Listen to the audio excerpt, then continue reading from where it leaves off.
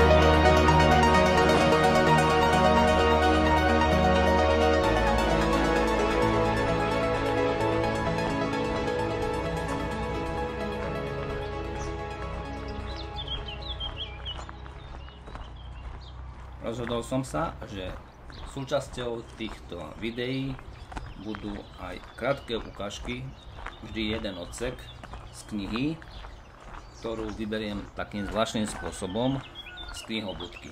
Tuto knihu som našiel v knihobudke v Povazkom konci.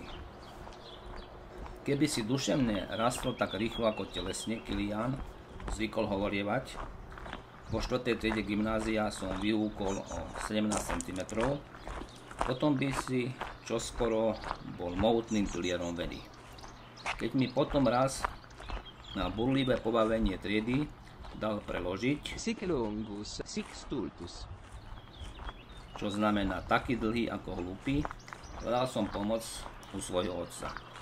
Ten ma hneď z gymnázia odhlásil, potom som dostal anglické súkromné vyučovanie a mohol som bez straty času prestúpiť do moderne vedenej vyššej reálky, ktorú som až po maturitu absolvoval bez ťažkosti.